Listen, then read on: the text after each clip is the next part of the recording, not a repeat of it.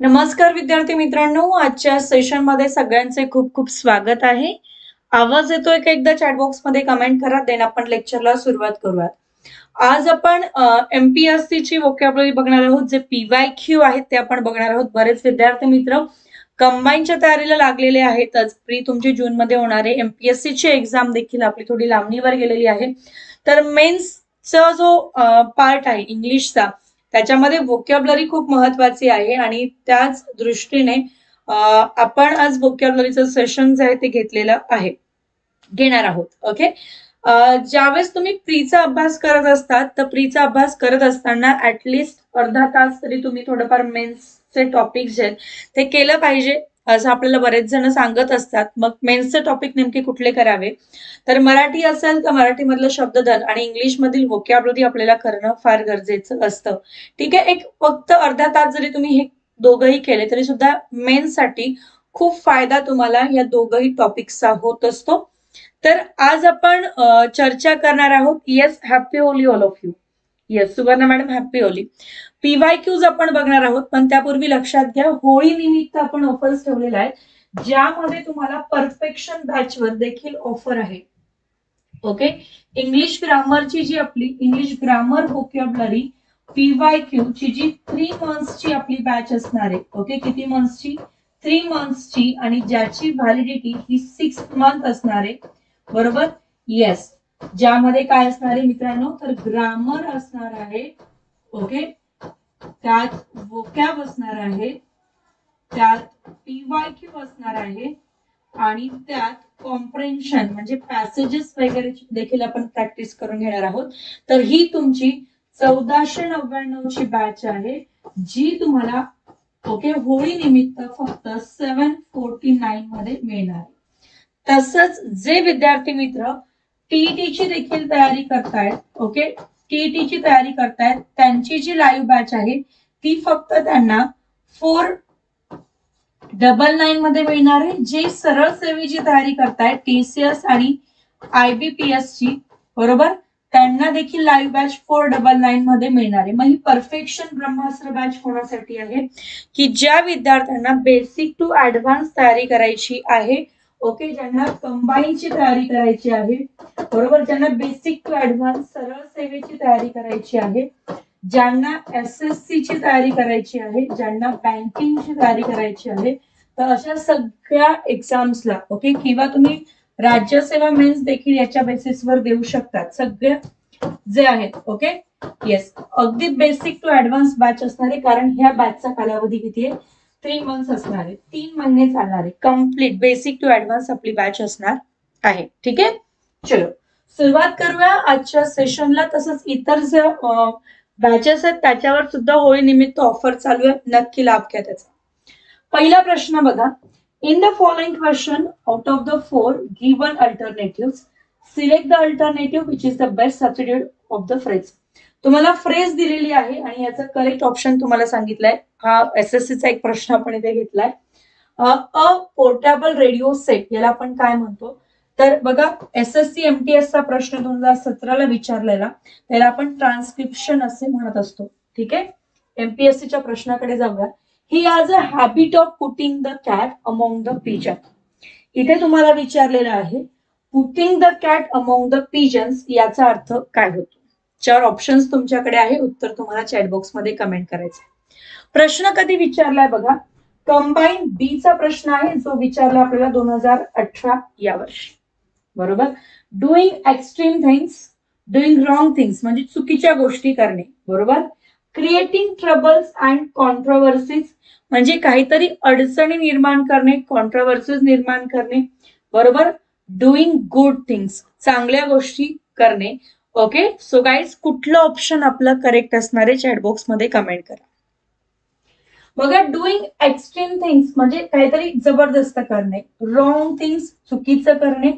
Okay putting the cat among the pigeons याला आपण काय म्हणतो बघा? ओके आता कॅटला पिजन्सच्या समोर उभा करणे म्हणजे ती कॅट पिजन्सला खाणारच आहे. तर याचा करेक्ट ऑप्शन असणार आहे मित्रांनो क्रिएटिंग ट्रबल्स अँड कॉन्ट्रावर्सीज म्हणजे एखादं संकट जे आहे ना ते स्वतःवर ओढावून घेणे असे आपण त्याला म्हणतो. जसं की एक छोटस उदाहरण मी नेहमी विद्यार्थ्यांना देत असते. ओके जर केमिस्ट्री लॅबमध्ये काहीतरी प्रयोग करतायत तुम्ही आणि स्वतःकडूनच एखादी टेस्ट ट्यूब फुटली बरोबर? तर सगळ्या लॅबला गाजा वाजा करण्याची किंवा सगळ्यांना सांगण्याची गरज नसते. गुपचूप ती ती काच घ्यायची आणि डस्टबिनमध्ये टाकायची. जर सगळ्यांना माहिती पडलं टीचरला माहिती पडलं तर फाईन बसतोच. मग याला म्हणतो आपण putting the cat among the pigeons किंवा शिक्षकांसमोर तुम्ही जर काच टाकणार तर तुम्हाला ते विचारणार असे काय फोडलंय? फाईन भर. ठीक आहे? म्हणजे एखादं संकट जे आहे ना ते आपण स्वतःहून ओढवून घेतो. तर याला काय म्हणतो आपण? Putting the cat among the pigeons असे म्हणतो. ठीक आहे? सो या एक्झाम्पल वरून तुम्ही खूप छान पद्धतीने सोप्या पद्धतीने लक्षात ठेवू शकताय. Putting the cat among the pigeons ठीक आहे? नेक्स्ट बघा. A little more pressure and he will be out for the count okay a little more pressure and he will be out for the count म्हणजे थोडस जरी त्याला pressure आलं बरोबर? थोडस जरी टेन्शन आलं तरी पण तो आउट फॉर द काउंट होतो. मग याचा अर्थ काय? बघा विक्टोरियस दिलेला आहे रिच आहे फ्री आहे आणि बीटन आहे. आता विक्टोरियस वर्ड आपल्याला माहिती पाहिजे. बऱ्याच वेळेस आपल्याला वनवर्ड सबस्टिट्युशनला देखील विक्टोरियस वर्ड विचारला जातो. ओके तर याचा विक्टोरियसचा अर्थ काय होतो? विजयी असं आपण घेतो. काय घेतो आपण? विजयी असं घेतो. येस मग विक्टोरिया राणी लक्षात ठेवायची. बरोबर? तर कशी होती? विजयी होती. ओ यू एस ज्यालाही लागतोय तर तो आपला काय होतो मित्रांनो? ऍडजेक्टिव्ह होतो. ग्रामरचा देखील इथे संबंध येतोय. रिच म्हणजे काय? ज्याला आपण श्रीमंत असे म्हणतो. ओके श्रीमंत आपण म्हणतो. फ्री म्हणजे अगदी मोकळा आहे असे आपण त्याला म्हणणार. आहे बीटन ओके येस काय दिलेलं आहे? बीटन आपण त्याला म्हणू शकतो पराजय ओके बीटन म्हणजे काय? त्याला काय म्हणू शकतो आपण? पराजय आपण त्याला म्हणू शकतो. आणि या बीटनचा सिनॉनिम होतो बघा डिफिटेड ओके किंवा डिफीट आपण म्हणू शकतो. मग बघा अ लिटिल मोर प्रेशर अगदी थोडं जरी प्रेशर त्याच्यावर टाकलं and he will be out for the count म्हणजे तो काउंटच्या बाहेरच जातो. ओके आता लक्षात घ्या हे इथे पाच व्यक्तींचं काम होतं. ओके येस आणि मग काय झालं की यांच्या बॉसने यांच्यावर कामाचं प्रेशर टाकलं आणि जसंही कामाचं प्रेशर टाकलं तर ह्या व्यक्तीकडनं झेपलं गेलं नाही. मग हा त्यांच्या टीम मधून काय गेला? बाहेर गेला उरले किती चार? म्हणजे तो आउट फॉर द काउंट झाला. किती उरले? चार झाले म्हणजे तो काउंट केला जाणार नाही. आउट फॉर द काउंट या पद्धतीने तुम्ही लक्षात ठेवू शकताय. ठीक आहे? सोपं आहे. Out for the count count करायचं नाही म्हणजे तो बाहेर पडलाय. ठीक आहे? म्हणजेच त्याचा काय झालाय? पराजय झालेला आहे तो तिथे. लढायला उरलेला नाहीये त्याला आपण बिटन डिफीट किंवा पराजय असे म्हणू शकतोय. राहील लक्षात सगळ्यांना? चला पुढची वोकॅब काय होती? दोन हजार अठराचा हा प्रश्न आपल्याला विचारला गेला. ओके बऱ्याच वेळेला आता सध्या ट्रेंडिंगला आहे असे प्रश्न. बरोबर? येस असे प्रश्न आता ट्रेंडिंगला आहे. म्हणजे कसे? तर चार आपल्याला शब्द दिलेले असतात. चार इडियम्स दिलेले असतात. मात्र प्रश्न आपला काय असतो? एकच असतो. ठीक? आहे येस बेसिकची बॅच आहे आपली. तुम्हाला नंबर पण दिलाय बघा nine four zero four eight four five four यावर कॉल करा. तुम्हाला संपूर्ण माहिती दिली जाईल की ज्यांचं बेसिक नाहीये त्यांच्यासाठी कुठली बॅच आहे. ओके ज्यांना ऑलरेडी अभ्यास झालाय पण अजून परफेक्शन पाहिजे आहे तर कुठली बॅच आहे? ठीक आहे? तुम्ही एकदा कॉल करा. तुम्हाला सांगितलं जाईल की कुठली बॅच तुमच्यासाठी परफेक्ट असणार आहे. चलो आता हा प्रश्न बघा दोन हजार अठरालाच विचारला. जास्त जुने प्रश्न मी घेणार नाहीये. ओके सोळा पर्यंत ठीक आहे. सोळा नंतरचे सगळे प्रश्न आपण बघूयात. ओके आणि नंतर आपण दोन हजार तेवीस ला ज्या दोघही एक्झाम झाल्यात त्याचे देखील वोकॅबलरी एका लेक्चरमध्ये आपण बघणार आहोत. पण जे विद्यार्थी चॅनलला नवीन असतील त्यांनी चॅनलला नक्की सबस्क्राईब करा. चलो किक द बकेट म्हटलंय किक अगेन्स्ट द प्रिक्स म्हटलंय kick someone in the kick orchid someone's good. असे तुम्हाला चार इडियम्स दिलेले आहेत बरोबर? आणि इकडे बघा चार ऑप्शन आहे. To complain uselessly about something that cannot be change to discourage someone make someone extreme annoyed or to die आता किक द बकेट कसं लक्षात ठेवायचं बघा? एक आजोबा होते. ओके? जेमतेम चालत होते फिरत होते. आणि जाता जाता त्यांनी काय केलं? बकेटला किक मारली. म्हणजे काय? लात मारली. बादलीतलं पाणी खाली सांडलं आणि आजोबा तसेच कुठे गेले तर ते वरती गेले. म्हणजे काय? की जेव्हा त्यांनी बकेटला किक मारली तर त्यांचं पण तिकीट निघालं. ओके येस म्हणजेच टू डाय आपण त्याला म्हणू शकतो. किक द बकेट जशीही आजोबांनी बकेटला किक मारली पाणी सांडलं आज होळी आहे आजच आजोबा होळी खेळत होते. बकेटला किक मारली आणि त्यांना त्यांचा मृत्यू झाला असे आपण म्हणू शकतो. मग किक द बकेटचा अर्थ काय होतो? टू डाय असा होतो. ठीक आहे? येस मग एच ऑप्शन काय असणार आहे? फोर बघा कशा पद्धतीने तुम्हाला जायचंय. इथे जर फोर मिळाला तर तुम्हाला ऑप्शन देखील करेक्ट मिळत आहे पण तरी सुद्धा लगेच क्लिक करायचं नाही. ऑप्शन मिळाले तरी चेक करायचं. किंग अगेन्स्ट द पिक्स याचा अर्थ काय होतो? की एखादी जी गोष्ट आहे ओके ती चेंज होणार नाहीये तरी पण त्याच्याबद्दल काय करणे कंप्लेंट करणे याला काय म्हणतो आपण किक अगेन्स्ट द प्रिक्स म्हणजे काय? To complain uselessly about something that cannot be changed ठीक आहे? बऱ्याचशा अशा गोष्टी असतात जसं की आपल्याला असं वाटतंय की जी काही सिस्टीम चालू आहे किंवा आपल्या परीक्षांची जी सिस्टीम चालू आहे. ओके बऱ्याच वेळेस असं वाटतं ना की बारावीच्या टक्क्यांवरच आम्हाला नोकरी मिळाली पाहिजे. ह्या ज्या एक्झाम्स होत आहेत त्या नको आहेत. बट याचा याची कंप्लेंट तुम्ही कुठे देत आहेत. काहीतरी फायदा आहे का त्याचा? नाहीये. मग किक अगेन्स्ट द प्रिक्स याला म्हणतो आपण complaint uselessly about something that cannot be changed kick someone in the teeth याचा अर्थ काय होतो? तर याचा अर्थ होतो मित्रांनो टू डिस्करेज समवन म्हणजे एखाद्याला काय करणे? तर एखाद्याला ना उमेद करणे असे आपण त्याला म्हणू शकतो. ओके एखाद्याला काय करणे? ना उमेद करणे असे आपण त्याला म्हणू शकतो. बरोबर? नंतर बघा गेट समवन्स कोट म्हणजे काय? मेक समवन्स एक्स्ट्रीमली अनॉइड बरोबर? असे आपण त्याला म्हणू शकतोय. Make someone extremely annoyed so guys option four जो आहे तो आपला इथे करेक्ट असणार आहे. ओके कंबाईन बी दोन हजार अठराचा हा प्रश्न आपण इथे बघितलेला आहे मित्रांनो. चलो पुढे बघूया कुठली इडियम आहे? Grishma spoke with white heat okay Grishma कशी बोलत होती? व्हाईट हीट म्हणजेच काय मित्रांनो? बघा ऑप्शन्स काय दिले. Natural shrewdness intense passion plain voice cunning passion कधी विचारला प्रश्न? दोन हजार एकवीस ला ओके दोन हजार एकवीसचा प्रश्न आहे. चला व्हाईट हिट म्हणजे काय?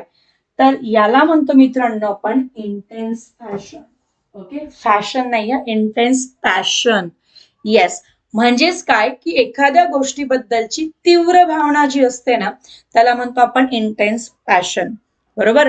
म्हणजे जर आपल्याला कोणाला काहीतरी पटवून सांगायचं असेल तर आपण अगदी जीव तोडून सांगत असतो.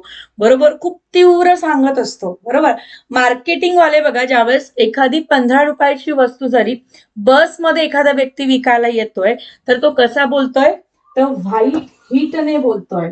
आता एक सोपी गोष्ट सांगते की प्रचंड उन्हाळा आहे गरमी खूप आहे. ओके? अगदी त्याचे घाम येतो जरा घामाच्या धारा लागल्यात. तरी पण तो अव तो अवकळा करून किंवा जीवाचं हालहाल करून तो काय करत असतो? त्या हिटमध्ये मार्केटिंग करत असतो. त्याच्या ज्या जी मार्केटिंग स्किल असते तिथे यूज करत असतो बोलून सांगत असतो आपल्याला. मग व्हाईट हिट तुम्ही लक्षात ठेवू शकतात की व्हाईट हिटमध्ये काय करतात ते? त्यांचे इंटेन्स पॅशनने मार्केटिंग करत असतात. म्हणजे अतिशय कठीणपणे किंवा तीव्र भावनेने ते तिथे मार्केटिंग करत असतात. हीटमध्ये उन्हाळ्यामध्ये या पद्धतीने तुम्ही ही ट्रिक जी आहे ती इथे लक्षात ठेवू शकतात. बघा एडियम्स आणि फ्रेजेस जे आहेत ना त्या पाठांतर करून होणार नाहीत तुम्हाला वेगवेगळ्या पद्धतीने त्या लक्षात ठेवाव्याच लागणार आहेत. ट्रिक्स वापरून काहीतरी स्टोरीज तयार करून ओके येस काहीतरी एक्झाम्पल्स घेऊन तुम्हाला सांग लक्षात ठेवावं लागणार आहेत. बॅचेस मध्ये सुद्धा आपण वोकॅब बघत आहोत मित्रांनो तर वेगवेगळी उदाहरणं तुम्हाला मी देत असते. बऱ्याच वेळेस युट्यूबला लेक्चर घेत असते त्याच्यानंतर दुसऱ्या दिवशी ती सीडीएम पेपरला येते. ठीक आहे? आणि तुम्ही जर राज्यसेवा कंबाईनची तयारी करत असणार आहेत किंवा T C S I B P एसनुसार होणाऱ्या एक्झामची तयारी करत असणार आहेत तर वोकॅबरी फार महत्वाची आहे. तुम्ही एस एस सीचेल द्या अथवा बँकिंग द्या. प्रत्येक एक्झामसाठी वोकॅब महत्त्वाचा आहे. मग एवढी सारी वोकॅब लक्षात राहत नाही म्हणून आपण वेगळ्या पद्धतीने लक्षात ठेवण्याचा प्रयत्न जो आहे तो करू शकतो. नेक्स्ट बघा काय म्हटलंय. Most of her friends avoid talking to her म्हणजे अनेक तिचे तिचे फ्रेंड्स आहेत ना ते अवॉइड करतात ओके तिच्याशी बोलायला. As she is constantly blowing her own trumpet जसंही ती काय करते नेहमीच ब्लोईंग हर ओन ट्रम्पेट म्हणजे काय? टू फॉरगेट एनमिटी म्हणजे दुश्मनी संपवणे आपण त्याला म्हणतो. बरोबर? बी ऑप्शन आहे. सेकंड ऑप्शन आहे to put in all possible effort सगळे एफर्ट्स ती घेते. टू बी व्हेरी बिझी खूप बिझी असते ती व्यस्त असते. टू बोस्ट अबाउट सेल्फ स्वतःबद्दल खूप सांगत असते. येस गाईज करेक्ट ऑप्शन कुठलं असणार आहे? चॅटबॉक्समध्ये कमेंट करा सगळ्यांनी. Very good Nandini madam Parth sir Saurabh sir okay चलो सगळ्यांनी उत्तर दिलेले आहेत. बघूयात कोणाचं उत्तर करेक्ट आहे. येस व्हिडिओला लाईक करायला विसरायचं नाहीये. जे चॅनलला नवीन आहेत त्यांनी चॅनलला सबस्क्राईब करा. तुम्हाला ॲपची लिंक देखील दिलेली आहे. ओके ऍप डाउनलोड करायला विसरू नका. रुचिता सुर्वे हे आपलं ऍप आहे जे तुम्हाला गुगल प्ले स्टोर वरून डाउनलोड करायचं आहे मित्रांनो. तर बघा ब्लोईंग हर ओन ट्रम्पेट याला म्हणतो आपण to boast fun about self म्हणजेच काय? स्वतःची फुशारकी मारणे किंवा स्वतःची वाहवा करणे असे आपण म्हणतो. प्रश्न विचारला गेलाय कंबाईन दोन हजार एकवीस ला. ठीक आहे? नेक्स्ट बघा. इन अ ब्राऊन स्टडी याला आपण काय म्हणतो? ओके काय म्हटलंय? In a brown study in a brown study म्हणजे काय? लॉस्ट इन थॉट्स ओके म्हणजे विचारांमध्ये मग्न असणे. बरोबर? नेक्स्ट बघा इन अ डे ड्रीम दिवसा स्वप्न बघणे.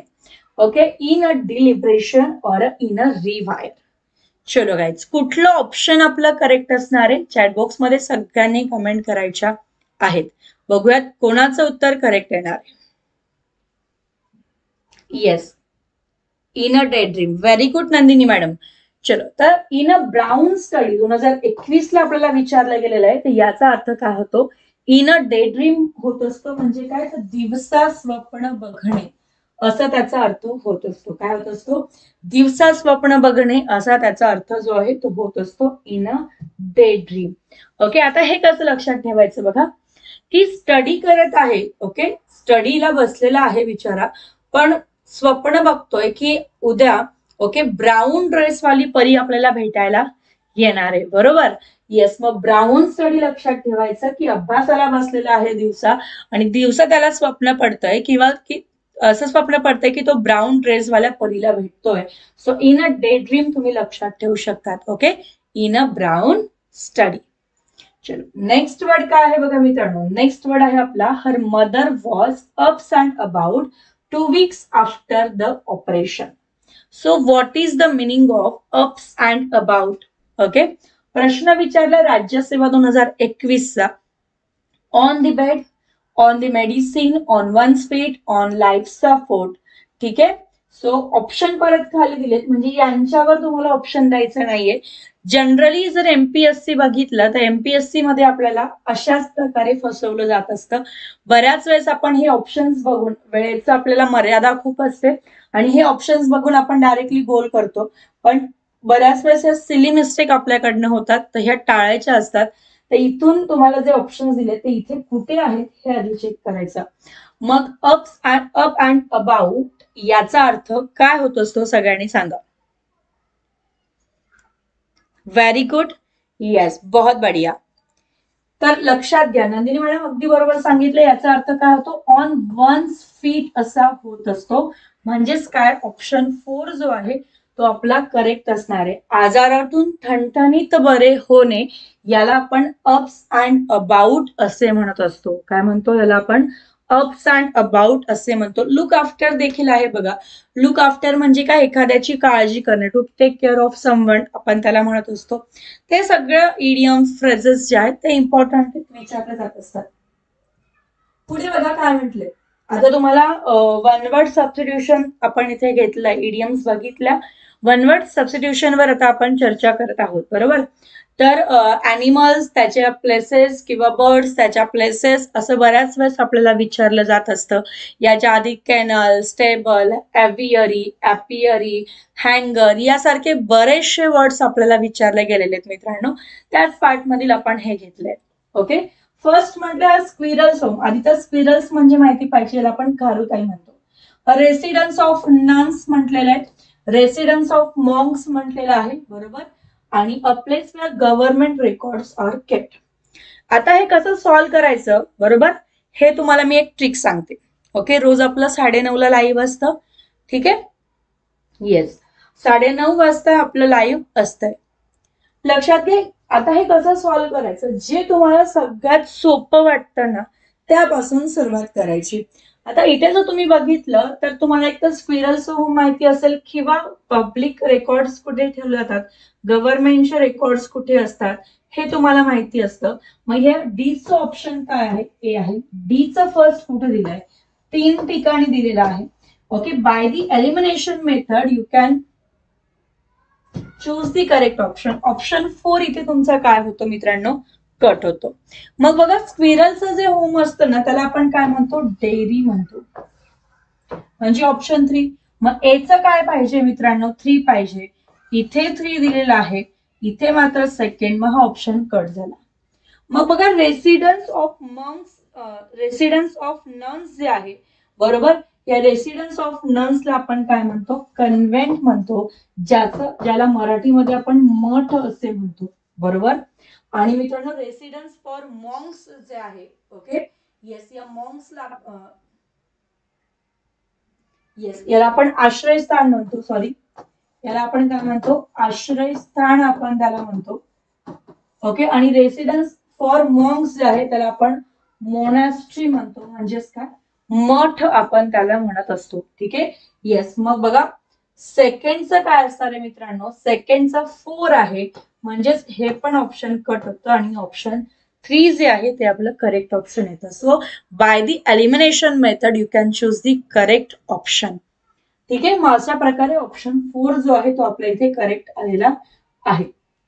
पुढचा प्रश्न कमेन्सुरेट आहे कमेली आहे ओके युफोरिया आहे आणि युफेमिझम आहे.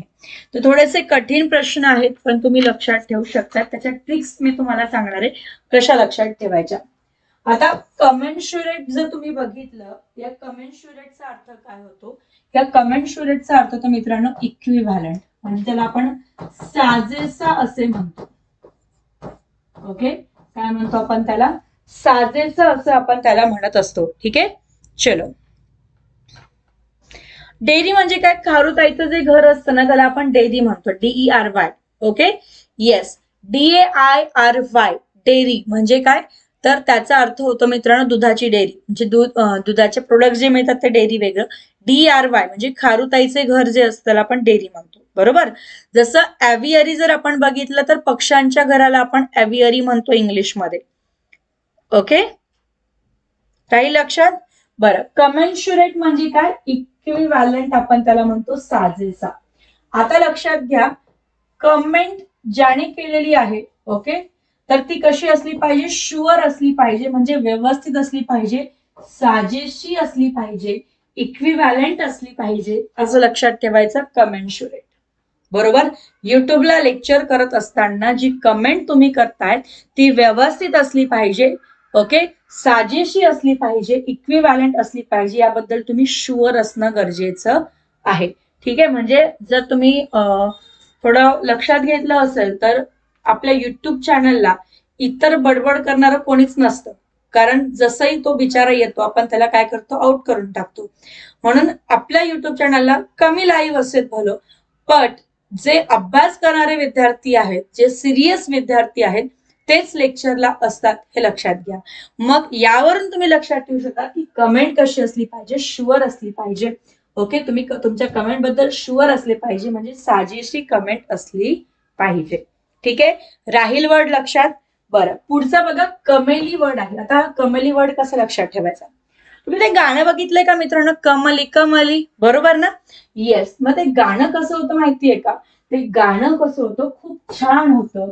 कसं होतं ते अट्रॅक्टिव्ह होतं कमेली यावरून लक्षात ठेवू शकते बरोबर? कमली कमली ओके येस कोणाचं होतं ते सॉन्ग ते सॉन्ग होतं कॅटरीना कॅटचं. कुठल्या मूवीतलं होतं माहिती नाहीये मला. तुम्हाला माहिती असेल तर बघा. मग कमेली कमेलीवरून लक्षात ठेवायचं की ते सॉन्ग कसं होतं? अट्रॅक्टिव्ह होतं. डान्स पण खूप छान केलेला होता. बरोबर? येस आय थिंक अग्नी ऋतिक रोशनच्या मूवीतलं ते सॉन्ग आहे असं मला वाटतंय. अग्नी पद का असं काहीतरी मूवी आहे तो. ओके येस सो कमेली कमेली तुम्हाला लक्षात राहणार आहे. कमेंट शुअर आहे. कमेंट शुअर असली पाहिजे. साजेशी असली पाहिजे. कमेली कमेली लक्षात ठेवू शकता. कसं आहे गाणं? अट्रॅक्टिव्ह आहे. ओके चलो. व्हेरी गुड नेक्स्ट बघा. युफोरिया म्हटलेला आहे. ओके युफोरिया म्हणजे काय? Feeling of extreme happiness okay euphoria आता हा कसं लक्षात ठेवायचा? ओके आता हा लक्षात ठेवायचा आहे की एंगेजमेंटला तिला काय भेटलाय? यू फोन भेटलेला आहे. काय भेटलाय? असा इझिली फोन तिला भेटून गेलाय. म्हणजे ती पॅरेंट्सकडे तिच्या आई वडिलांकडे अगदी चार पाच वर्षापासून मोबाईल मागत होती. पण तिला मोबाईल भेटला नाही. आणि जशी ही एंगेजमेंट झाली तर तिला आयफोन यू भेटून गेला. युफोरिया यू फोन भेटून गेला. त्याच्यामुळे ती कशी होती? प्रचंड आनंदी होती. फिलिंग ऑफ एक्स्ट्रीम हॅपीनेस ही ट्रिक तुम्ही इथे वापरू शकता. ओके फोन कसा भेटलाय? यू भेटलेला आहे. Euphoria feeling of extreme happiness नंतर बघा शेवटी उरला युफोमिज युफेमिझम म्हणजेच काय?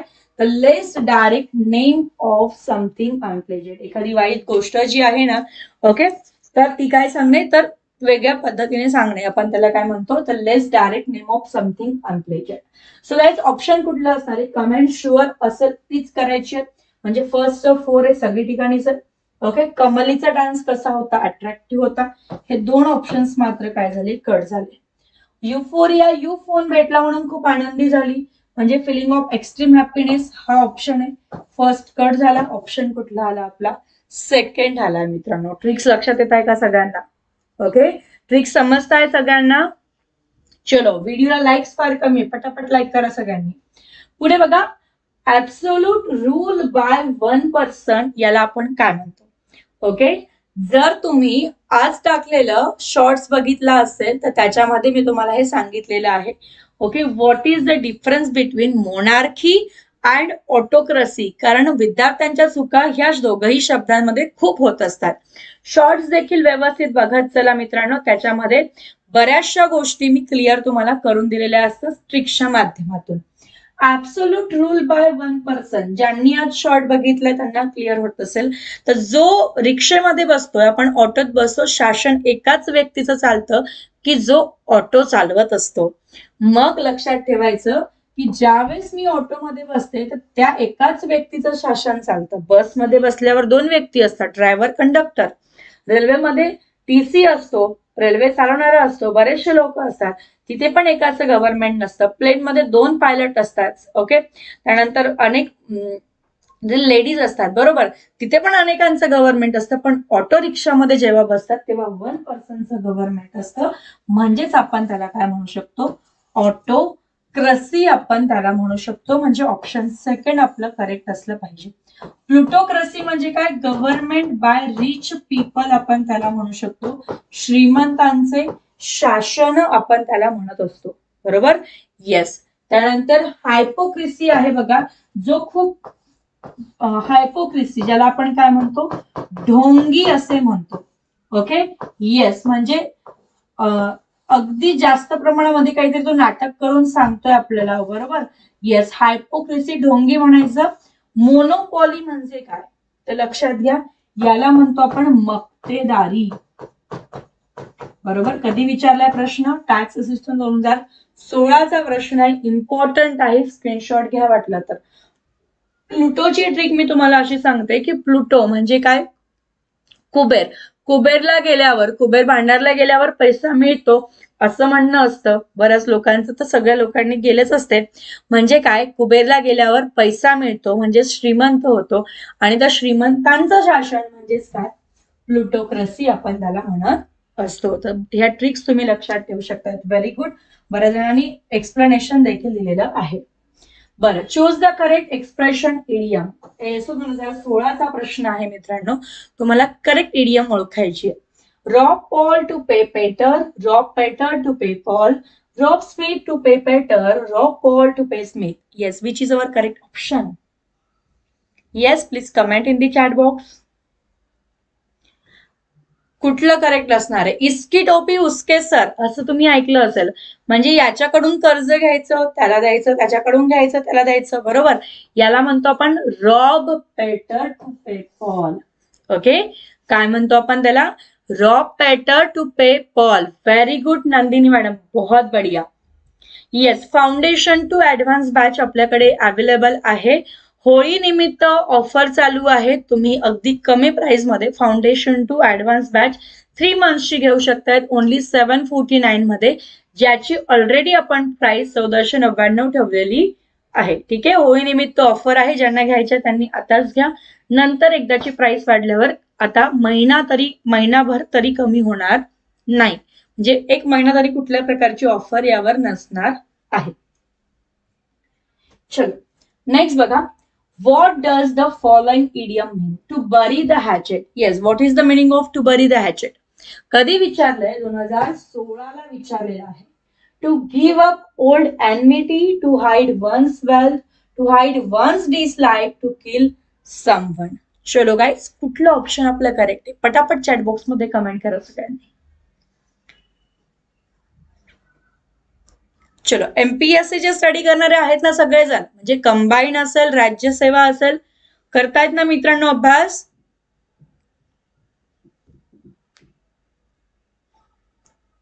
येस तुम्ही जरी सरळ सेवेचा अभ्यास करत असले तरी सुद्धा तुमच्या एमपीएससी ची वोकॅबरी तुमच्यासाठी इम्पॉर्टंट आहे. ओके जरी मी सरळ सेवेची म्हणजे एस एस ची किंवा बँकिंगची वोकॅब घेतली ओके तरी सुद्धा एमपीएससी कंबाईन करणाऱ्यांना ती फायदेशीर असतेच. ओके कारण वोक्या वोक्याव असतं. सगळं रिपीटेडली विचारलं जात असतं. इकडचं तिकडे तिकडचं इकडे येत असतं. त्याच्यामुळे असं अजिबात समजायचं नाही की मी एमपीएससीची तयारी करतोय. तर मी एस एस सीचे क्वेश्चन्स बघणार नाही. वोकॅप करणार नाही. असं अजिबात नाहीये. तुम्हाला दोघंही करायचे. तुम्ही एस एस सी करत असाल तरी एमपीएससीचे वोकॅप करायचेच आहे. सरळ सेवा करणारे तरी एमपीएससीचे वोकॅप करायचेच आहे. बरोबर? बरी द हॅचेट याचा अर्थ होतो तो गिव्ह अप ओल्ड एनमेटी म्हणजे काय? तर वैर सोडून देणे असे आपण त्याला म्हणत असतो. ठीक आहे? ऑप्शन ए जो आहे तो आपला करेक्ट ऑप्शन असणार आहे. Next question this house is an apple of discord between the two brothers बरोबर? तर ऍपल ऑफ डिस्कॉर्ड यासाठी तुम्ही काय अजून एडियम वापरणार? A wild goat chase a precious object an object of great love, bone of contention. चलो yes काय असणार आहे आपला करेक्ट ऑप्शन चलो this house is an apple of discord and apple of डिस्कॉर्डला आपण काय म्हणतो? तर याला म्हणतो आपण a bone of contention option four आपला करेक्ट असणार आहे. वाईल्ड गोट चेस म्हणजे काय? तर एखादी गोष्टीचा आपल्याला फायदा होणार नाहीये. फ्रुटलेस एफर्ट आपण त्याला म्हणू शकतो. वाईल्ड गोचेस प्रेशियस ऑब्जेक्ट माहिती आहे तुम्हाला? ग्रेट लव सांगण्याची अजिबात गरज नाहीये. चला पुढचा प्रश्न. Choose the one word substitution for the sentence one who looks at the brighter side of things combine groups दोन हजार एकवीस ला विचारलेला प्रश्न होता. बघा काय म्हटलंय? ऑप्टिमिस्ट दिलंय अल्ट्रुइस्ट दिलंय पेसिमिस्ट दिलंय आणि थिस अर्थीस दिलेलं आहे एक एक शब्द व्यवस्थित बघूया. ऑप्टिमिस्ट म्हणजे काय मित्रांनो? ओके तर आपण त्याला म्हणतो who looks brighter side of the things ज्याला आपण आशावादी असे म्हणतो. बरोबर? ज्याला जो होपफुल आहे आपण त्याला म्हणू शकतो. ओके ज्याला आशा आहे. अल्ट्रुइस्ट म्हणजे काय? ओके येस अल्ट्रुइस्ट म्हणजे काय? की जो कन्फ्यूज आहे. ओके थिस्ट आणि अथिस्ट या दोघांचं जे एकत्रीकरण असलेलं आपण अल्ट्रुइस्ट म्हणत असतो पेसिमिस्ट म्हणजे काय? ज्याला आपण निराशावादी म्हणतो. ओके? येस त्यानंतर अथिस्ट म्हणजे काय? तर जो देवावर विश्वास ठेवत नाही त्याला आपण काय म्हणतो? नास्तिक असे आपण म्हणत असतो. ओके? फिलॅन सॉरी अल्ट्रुइस्ट म्हणजे फिलॅन्थ्रॉपीचा सिनॉनिम आहे. म्हणजे जो हेल्प करणारे ह्युमन बिंगला त्याला आपण काय म्हणतो? अल्ट्रुइस्ट आपण म्हणत असतो. ठीक आहे? येस चलो पुढे बघूयात मित्रांनो पुढचा प्रश्न. Anushka is ambidextrous which means दोन हजार एकोणावीस कंबाईनला विचारला गेलेला प्रश्न आहे. अँबिडेक्सस म्हणजे काय? ऑप्शन्स बघा काय आहे able to think who too well simultaneously able to use both hands equally well, able to deal with critical circumstances, able to see who different views. Yes, guys. Altruist म्हणजे काय लक्षात आलं ना? परोपकारी म्हणतो. व्हेरी गुड ज्याला आपण philanthropist synonym त्याचा वापरत असतो. Okay yes who loves mankind असं पण आपण त्याला म्हणू शकतो. किंवा जो मदत करत असतो ते त्याला देखील आपण अल्ट्रुइस्ट असे म्हणत असतो. ठीक आहे? अँबिड एक्सप्रेस म्हणजे काय? की जो दोन पद्धतीने एकाच वेळेस विचार करू शकतो जो दोघही हातांचा वापर करू शकतो किंवा जो क्रिटिकल सर्कमस्टान्सेस मध्ये डील करू शकतो किंवा जो डिफरंट व्ह्यूज जो आहे व्ह्यूजने बघू शकतो. तर अँबिड अर्थ काय होतो? लक्षात घ्या अँबी डेक्स्ट्रस आपण तिथे म्हणायचं. मग या अँबीचा अर्थ काय होतो मित्रांनो? बोथ होतो. डेक्स्ट्रसचा अर्थ काय होतो? तर आपण म्हणू शकतो skill related to hands okay हातांशी related जे कौशल्य असतं. मग अँबिडेक्स्टर्स म्हणजे काय? Use both hand equally well Amitabh Bachchan यांचं बेस्ट एक्झाम्पल आहे की जो दोघे हातांचा वापर योग्य पद्धतीने करू शकतात. बरोबर? अँबिव्हॅलंट म्हणजे काय? की ज्याला दोन फिलिंग्स आहेत. ओके येस किंवा ज्याचे अनेक अर्थ आहेत त्याला आपण अँबिव्हॅलंट असे म्हणत असतो. येस सो अशा पद्धतीने आजची वोकॅबलरी जी आहे ती आपण बघितलेली आहे. आज आपण इथे थांबूयात. मित्रांनो लक्षात घ्या होळी निमित्त आपण सगळ्या कोर्सेसवर ऑफर्स ठेवलेल्या आहेत. ज्यांनाही बॅचेस परचेस करायचे आहेत अगदी ज्यांचं इंग्लिश अगदी कच्चं आहे त्यांच्यासाठी फाउंडेशन टू ऍडव्हान्स बॅच आहे आपली ज्यामध्ये grammar vocabulary P Y Q आणि कॉम्प्रेन्शन जे खूप महत्वाचं आहे. बऱ्याच वेळेस आपण काय करतो तर बऱ्याच वेळेस आपण कॉम्प्रेन्शन पार्ट करतच नाही पॅसेजेस करत नाही. मित्रांनो पाच मार्कला पॅसेज जे विचारलं जात असतं तर कॉम्प्रेन्शन हा पार्ट खूप महत्त्वाचा आहे. तुम्ही जवळजवळ वीस पॅसेजेस तरी सॉल्व्ह केले पाहिजे एक्झाम पर्यंत. ओके येस कारण पाच मार्क्स हे खूप महत्त्वाचे असतात. म्हणून अशाच प्रकारे तुम्हाला गायडन्स करण्यासाठी तर मी येणारच आहे.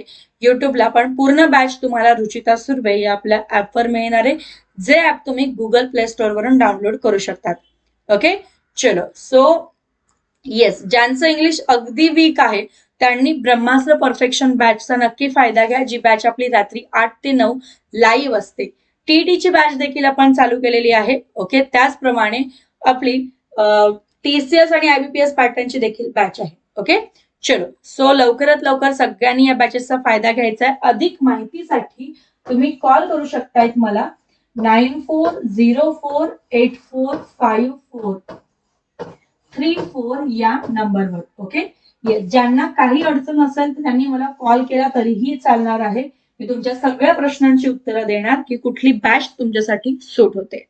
ओके गाईज चलो सो इथे थांबूयात आणि पुन्हा भेटूयात. उद्या साडे नऊ वाजता ओके? Good night